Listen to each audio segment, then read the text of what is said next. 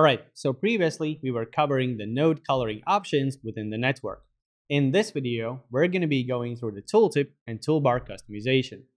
Now, as always, within the sample report, you have already a pre-configured variation of the chart that you can explore and further examine. In this case, we're going to go into the training view and actually build our own instance of the chart. So first things first, let's add an instance of the network visual. Let's disable the background and the title. And as far as the setup goes, we're going to be adding region and country into the nodes field and also going to adding total sales in our measures field. Now, if we go into the formatting options, we're going to enable tooltip settings and open that up. And you can see we have one setting that we can customize here, and that is the tooltip type. If you press on it, you can see that we have two options. You can either use custom tooltip or Power BI tooltip. The difference between them is that the custom tooltip is actually our own custom tooltip, whereas Power BI is something that you are familiar with already. Now, if you're using custom tooltip, the way you actually call it out is by right clicking on a node. And you can see this provides you with a pop-up that has the name, the value, and also it has two additional settings. You can hide the node or you can collapse it. So for example, if I click on collapse, you can see that that node plus all the child nodes are going to be hidden from the network. If you want to get them back, you need to click on the back item right here. Now, the other option that we have here is Power BI built in. So once you choose it, instead of right clicking on a node, all you have to do is simply hover over the node and that is going to call out the tooltip. If you want to customize this tooltip, you actually can scroll down a little bit more in the formatting options and open up this tab right here called tooltip and customize the default tooltip. So the, these are the two options for the tooltips. Now let's go through the toolbar. Now, first thing you can know about the toolbar is that there is one setting that you can customize, and that is the dark mode. The way it works is that once you enable the dark mode, all the elements within the toolbar are actually going to transition into a lighter version of them.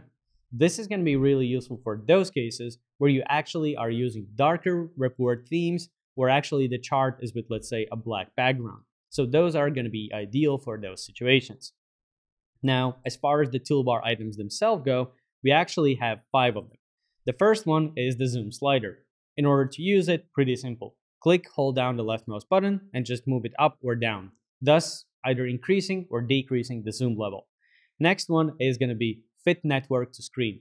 Once you click on it, it's actually going to take all the nodes, it's going to zoom out, reposition itself if necessary, but every single node that's available on the screen is going to be visible on that viewport. The next one is rearrange elements. Now, rearrange elements is really useful for those cases where you have manually readjusted something. So for example, if I move this node here, I move this one to the top, and then I say, I actually want to go back to what I was before. I click on rearrange elements, and I'm back where I initially started. The next option is lock all nodes. What this allows you to do is to physically fix the positions of the nodes so you can move them more easily. If this option is enabled, what happens is when I'm moving the node, you can essentially see it has a gravitational force. So it's dragging the rest of the nodes with it. If you enable the lock all nodes, you can see that I can move the node, but the rest of the nodes are not taken into consideration. So this is just something to keep in mind. Now, something I want to note here is that the positions that you actually achieve afterwards through the lock all nodes are not going to be saved persistently, meaning that as soon as you leave the report page or refresh the visual itself, it's going to go back to the initial state. And the last item that you already saw me using is the back button. It's really useful for those cases where you are applying additional filters or you're hiding items and you want to just get back everything to that initial view. So for example, right click on EMEA, collapse, and then you can see that that node disappeared. So by clicking on back, I can actually call it back out. The one thing to note though is that, for example, if you have lock all enabled at that point, you can see that all the nodes are exactly on the same place because that is the starting point for the graph.